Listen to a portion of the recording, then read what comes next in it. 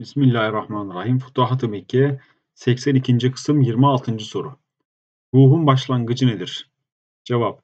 Tasavvuf ehli ruh sözünü farklı anlamlarda kullanır. Falanca da ruh vardır demek bulunduğu kimsenin canlı olduğu Rabbani bir şey vardır demektir. Başka bir ifadeyle onun kalbi bu şeyle hayat bulur. Bazen ruhu Hazreti Peygamber'e sallallahu aleyhi ve sellem sorulan anlamda kullanırlar. Bazen yaratılış tesviyesinin kemale ulaşmasıyla üflenilen ruhu kastederler. Tasavvuf yolunun etrafında döndüğü şey, Allah ehlinin himmetler ve ibadetlerle kendisine yönelip buldukları ruhtur. Genellikle onlara soru da bu konuda sorulur. Tirmizi'nin ruhun başlangıcı nedir sorusu, Arif'in kalbinde bu ruhun meydana gelmesinin başlangıcı nedir demektir. Şöyle deriz, Allah'ın kendisini elde etmeye ehil kıldığı kimselerin nefislerinde buldukları ruhun başlangıcı şöyledir. Söz konusu kimselerin nefislerinde Allah'ı görmekten yoksun olarak başkayı görmeye yol açan ve kul ile Allah arasında bir engel haline gelen mücahadeler güçlü bir şekilde yerleşir. Bu durumda mücahade sahibi kabz, himmet, gam ve ortadan kaldırmak istediği bir takım perdelerin sahibidir.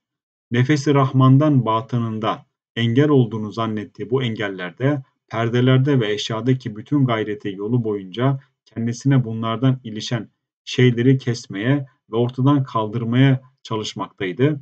Hakkın yüzünü görmeyi sağlayan bir esinti ona ulaşır. Söz konusu nefes ona her şeyde hakkın yüzünü gösterir. Bu bir şeyin varlığını koruyan gözdür.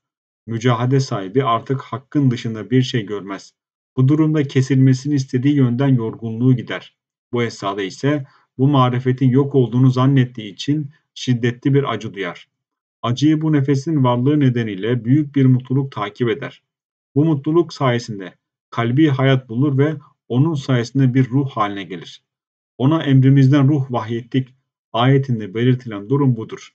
Söz konusu hal senin gayretinin altında olmadığı gibi onu elde edecek bir düşüncede sende yoktur. Sen kitabın ve imanın ne olduğunu bilmezdin. Fakat onu bir nur yaptık. Dilediğimiz kullarımıza hidayet ederiz. Böyle bir arif, Hakk'ın kullarından dilediği kimsedir. Bu esnada onun için ruh sahibi denilir ve o dirilere katılmıştır. Ölüyken ona hayat verdiğimiz sonra kendisiyle insanlar arasında yürüdüğü bir ruhu yarattığımız kimseyle nur yarattığım, yaratmadığımız kimse bir midir? İşte ruh budur. Onun nuru yoktur. İşte bu nur Allah'ın yaratmasına bağlıdır. Allah onu kazanmaya bağlamamıştır. Çünkü o zevk bulunmadığı için varlığı bilinmeyen bir şeydir. Ariflerin bu yolla bulmuş oldukları ruhun kaynağı budur. Soru soranlar da bunu kasteder. Bu ruh başka bir şeyden değil, Rablık mertebesindendir. Onun aslı ise Rabbin emrindendir. Başka bir ifadeyle yaratılıştan meydana gelmemiş bir ruhtur. Çünkü emir alemi kendisinden önce bulunan kevni bir sebepten meydana gelmeyen varlıktır, varlıklardır. Her varlığında ondan bir payı vardır. Bu ise sebepten veya sebep olmaksızın meydana gelen her şeye ait özel yöndür. Tirmizi'nin soru sorduğu ve bu yol ehlinin bulduğu söz konusu ruh bu ruhtan meydana gelir.